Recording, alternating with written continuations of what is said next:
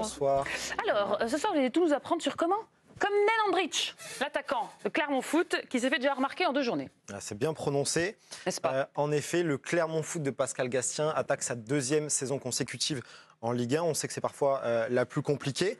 Et il va le faire amputé de plusieurs de ses cadres qui ont été transférés cet été. Bayo et Zedatka à Lille, Abdoul Samed à Lens, Outonji euh, à Angers. L'effectif a été remanié. Et en effet, on a Andrich qui est arrivé pour remplacer Bayo. Il a 27 ans. Il vient du Dynamo Zagreb.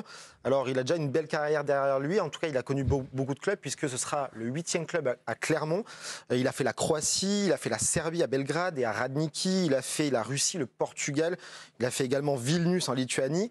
La saison dernière, c'est 6 buts en championnat avec Zagreb.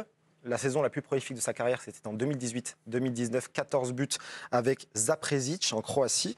C'est un pur neuf, il a joué euh, pratiquement 140 rencontres à ce poste-là.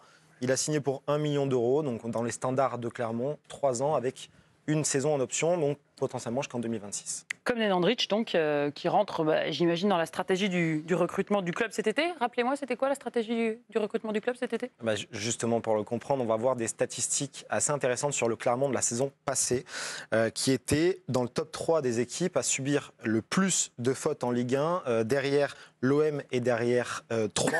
C'était également une des équipes à faire le moins de fautes, et c'était la 16e équipe en termes de duel aérien remporté en Ligue 1. Donc en fait, on commence à comprendre que Clermont, malgré le maintien, c'était peut-être un peu tendre dans les duels, un peu tendre à l'impact, un peu tendre sur les seconds ballons.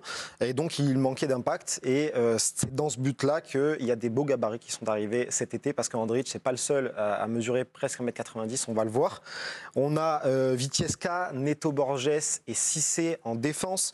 On a Dio qui mesure 1m97 dans les buts. Euh, on a aussi Gonalon qu'on connaît bien Ah oui au milieu de terrain. Et donc Andrich. Donc c'est vraiment athlétiquement, vous le voyez là, euh, que Clermont s'est renforcé également. Du coup, il rentre dans quelle euh, case, là Andrich, il est costaud, j'imagine? Il est, il est vers où? Il, il- il rentre dans la case de l'attaquant euh, costaud et, et- et bon de la tête. On va le voir en vidéo tout de suite. Il mesure 1m90 pour 85 kg. C'est, je vous le disais, un vrai pur neuf de surface qui est dominant physiquement dans les airs, dans cette zone de vérité. Euh, il n'a pas forcé, il n'a pas à forcer pardon, athlétiquement pour pouvoir imposer son gabarit. On l'a vu contre Reims, vous le disiez, il a déjà marqué euh, le week-end dernier. Il a en fait cette intelligence dans le placement dans la surface, toujours être dans la bonne zone à la retombée. Il essaye de créer l'espace. Euh, la saison passée, pour vous donner une idée, Bayo, c'était 4 duels aériens disputés par match en moyenne. Andrich, c'est plutôt 5 ou 6 duels. Euh, et une autre statistique qui rentre en, compte là-dedans, c'est que Clermont, la saison passée, faisait partie des 10 équipes à centrer le plus. Donc si cette dynamique continue, c'est important d'avoir quelqu'un comme Andrich euh, à la retombée. Il utilise ses pieds de temps en temps ou pas?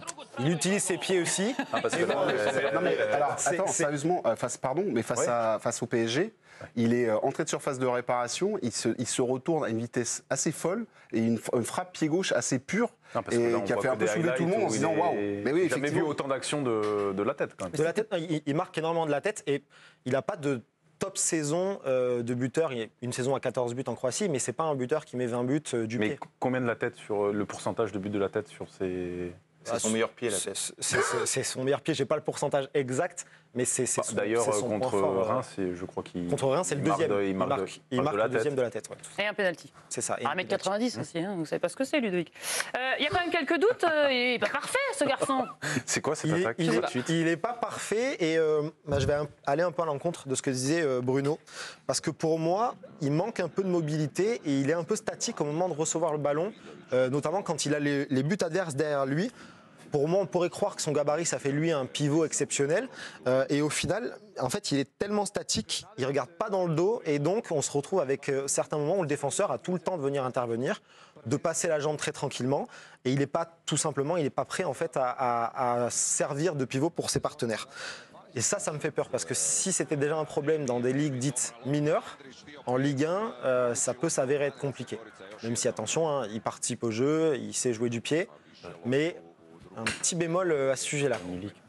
Bon, qu'est-ce que vous en on pensez, voit- euh, messieurs, dames, autour de ce plateau De ce joueur et puis du recrutement peut-être global de, de Clermont qui a voulu la jouer Moi- physique, quoi. Moi, j'ai envie d'être un peu positif parce que Clermont, généralement, se, se rate pas sur les attaquants. Ça fait un bail qui recrute des attaquants et qu'ils arrivent à très bien les vendre parce que justement, ils arrivent à performer. Et d'ailleurs, c'est le même, c'est le même profil. euh, il a des statistiques très très proches avec Adrian Gribic, qui était passé par Clermont aussi, Ah, Qu'ils ont vendu et qu'ils ont vendu euh, pas mal. cher. Pas mal. Non, mais ouais, moi je suis, je suis, je suis curieux. Je- J'attends de voir. Après, l'année dernière, tu parlais des, des centres aussi. Savoir qu'il y avait Berthomier qui jouait aussi et qui était très bon sur le coup de pied arrêté, qui envoyait pas mal de galettes.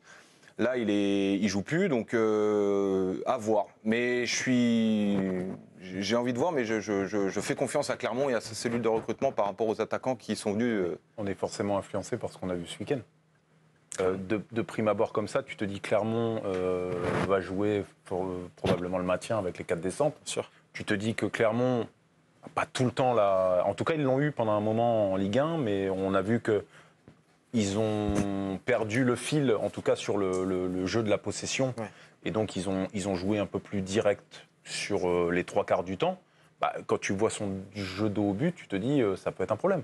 Et puis, ce week-end, bah, il t'en claque deux. Donc, Mais pas, pas dans ce domaine-là. C'est pour ça que ouais, mais Moi, je pense que je, euh, je vais, on- va le valider. Ah, vous je, validez je le ou pas valide, je le valide parce que c'est pour moi, c'est un joueur qui est clairement compatible. Il n'y a aucun problème avec ça. Mais justement, sur ce jeu direct-là, Mm. moi, j'ai j'ai des doutes. J'ai des doutes parce que contre, euh, contre Reims et puis contre Paris, alors Paris, on va mettre de côté, mais contre Reims, on l'a pas tellement vu dans ce registre-là. Il a été bon de la tête, il met un penalty. J'attends de le voir un peu dans ce jeu direct. C'est à ça qu'il doit servir aussi. Contre, contre Paris, il prend, euh, il prend Ramos et après derrière, il prend Nordi Euh, pour il a passé une drôle de soirée, un drôle de baptême en. Bienvenue en Ligue 1 Ouais, c'est ça. Après, contre Reims, tu le sens plutôt à l'aise. euh, Oui, beaucoup plus à l'aise. Ouais. Bon, on a hâte de le voir au prochain match. Merci en tout cas, Kevin. On vous. retrouve